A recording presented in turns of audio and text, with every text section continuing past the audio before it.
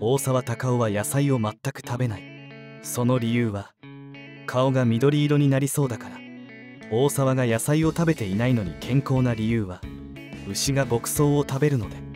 その牛を食べている僕は野菜を食べなくても健康と豪語している。洗顔をするのは気合を入れるためだと思っていた。